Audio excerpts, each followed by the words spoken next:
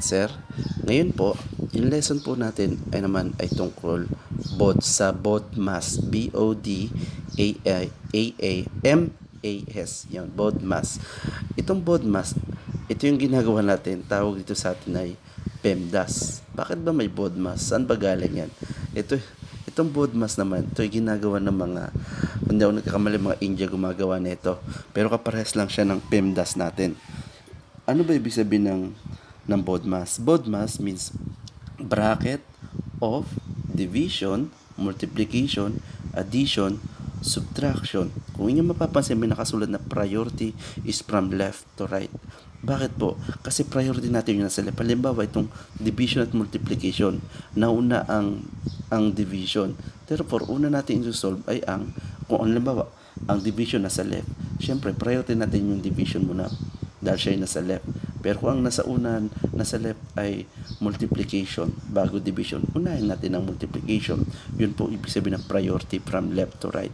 Kung halimbawa naman sa addition to subtraction, nasa left yung subtraction, unahin natin ang subtraction kaysa sa addition. Yun po tinatawag na priority is from left to right. Maliban na lang po kahit nasa unahan ng subtraction tapos nasa right ang multiplication unahin pa rin natin ang multiplication.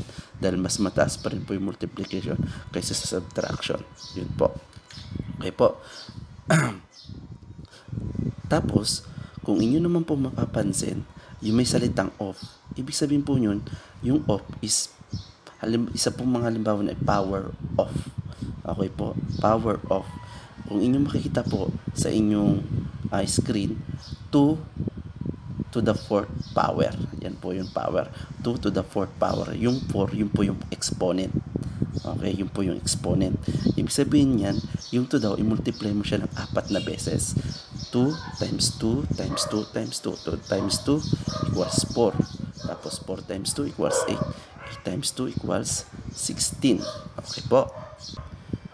Okay. Ang isa pang ibig sabihin ng of is percent of a number. Okay? Halimbawa rito is what is 35% of 80. Kung inyo makita dyan sa screen, 35 over 100 times 80 equals 28. Tapos 35 divided by 100 equals 0.35 times 80 equals 28. Pwede rin naman pong ganito. Ang gawin ninyo, kung basta't fraction po siya, ang gawin ninyo dyan, yung isang 0, tanggalin ninyo, tapos yung isang 0 sa 100. Ngayon, mangyari, 10 yung mang, 10 na lang mang, mat, matitira sa 100. Ngayon, mangyari niyan, 35 times 8 equals 280. Tas 280 divided by 10 equals 28. Yun po. yung isa naman po is what yung uh, percent of halimbawa ito is what is the 35% of 80. Okay? Mangyayari po niyan is 35 over 100 times 80. Saan ang galing yung yung 100? Kasi po sa 35%, pag ginawa mo siyang decimal number, maging 0.35. Yung 3, nasa place value siya ng tens. Tapos yung 5, nasa place value siya ng hundreds. Okay? Kaya naging hundreds po yung denominator. Okay?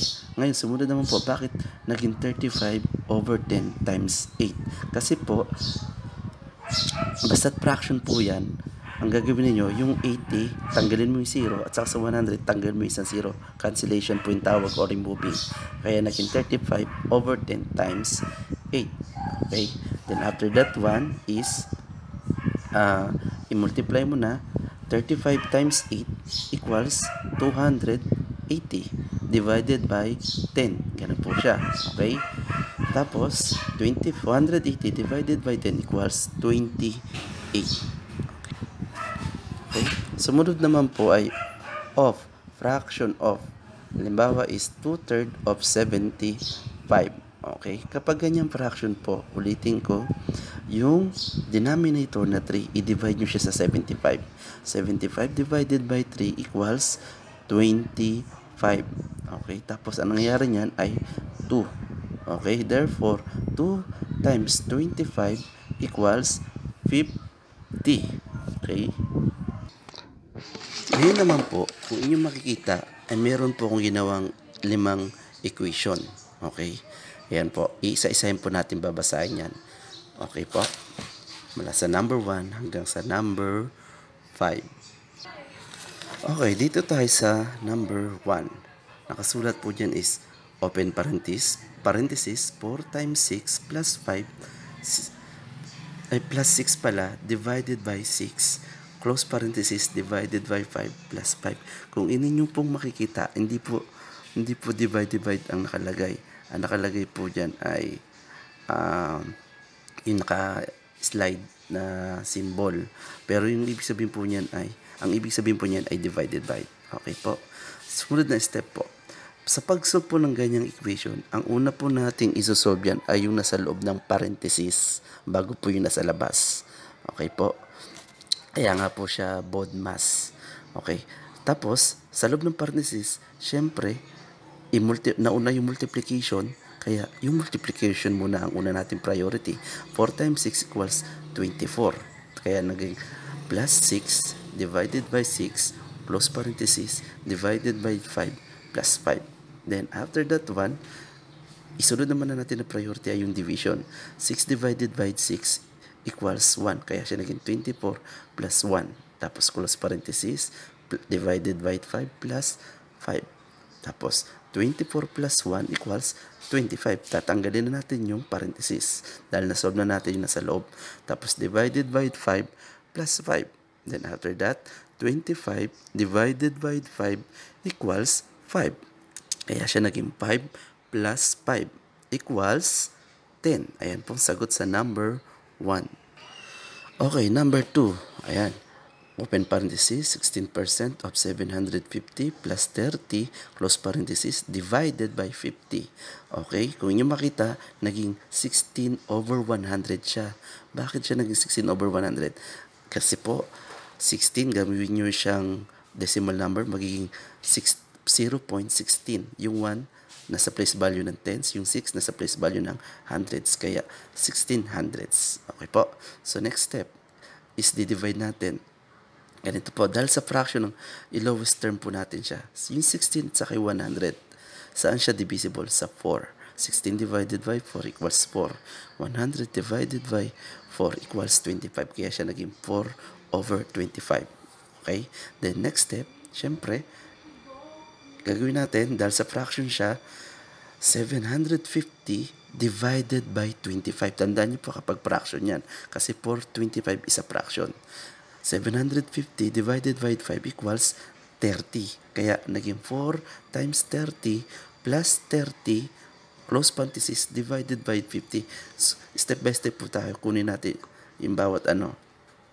Then after that one, i-multiply natin. 4 times 30 equals 100 20. Okay, tas plus 30 uli, close parenthesis, divided by 50. Okay, then 120 plus 30 equals 150.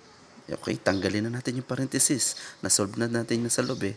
150 divided by 50 equals 3. Number 3, 1 half of 2 third of 150. Kung yung mapansin, naging times yung mga off. Kasi po, symbolize niya ng of is multiplication. Kaya nag 1. Ayan, kaya po siya ng ganyan. Then after that one, isolve po muna natin yung 2 third times 150. Ulitin ko, fraction yung 2 third. Ibig sabihin, 150 divided by 3 equals 50. Kaya kung nakita ninyo, 1 half times 2 times 50. Doon nang galing yan. Yung 50 sa 150 divided by 3. Then, of course, after that, 2 times 50 equals 100. Kaya 1 hand, 1 half times 100. Then, after that, dahil fraction ng 1 half, 100 divided by 2 equals 50. Okay, kaya 1 times 50 equals 50.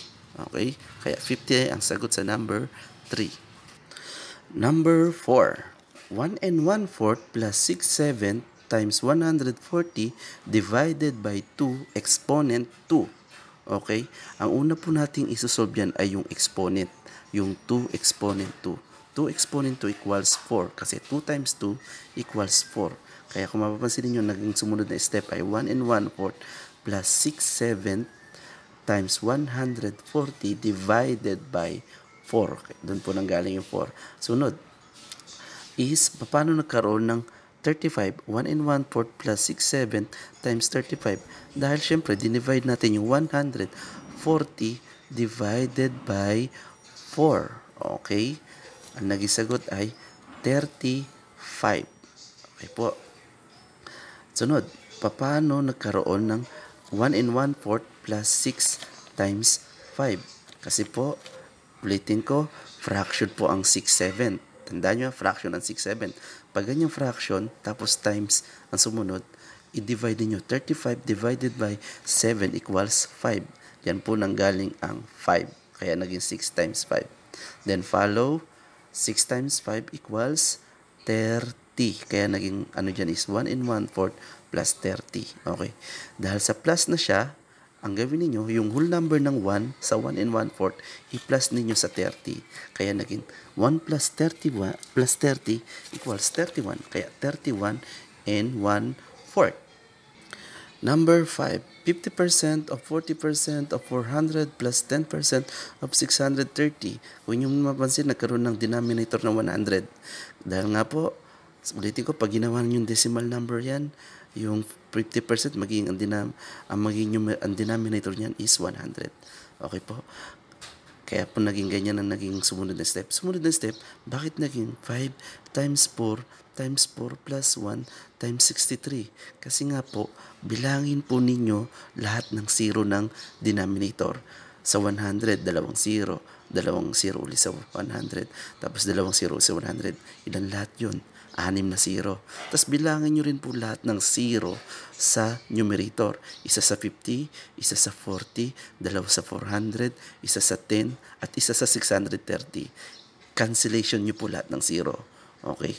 Kaya naging pa times 4 times 4 times 1 times 63. Ulitin ko po. Eh, syempre, may, dinam may lahat po kasi ng whole number ay may denominator na 1. Pero hindi na po isinasali yan kapag ang denominator ay 1. Okay, then, follow the step. 5 times 4 equals 20. Kaya po naging 20 times 4 plus 1 times 63. Sumunod, 80 plus 1 times 63. Paano naging 80? 20 times 4 equals 80. Okay, sumunod na step, 1 times 63. Kaya naging 63. Ngayon, addition, 80 plus 63 equals 143. Ah, kung kayo po ay medyo nahihirapan sa paliwanag ko yun, pwede niyo po siyang balikan yung mga da, yung medyo nahihirapan kayo na hindi niyo naintindihan. Balikan niyo lang po. Tapos medyo i-post niyo kung para maintindihan niyo po siya. Napakadali lang po niyan. Okay po? Ah, ngayon naman po ay meron akong ipapasolve sa inyo. Solve niyo po siya. Tapos, pag meron na po kayong sagot, i-chat nyo lang po ako sa aking messenger na Mike Manal. Isi, mag-chat po kayo sa akin doon, ilagay nyo yung sagot nyo. Tapos, i-reply ko kayo at sasabihin ko kung yan ba ay tama o mali. Ulitin ko po, maraming marami pong salamat.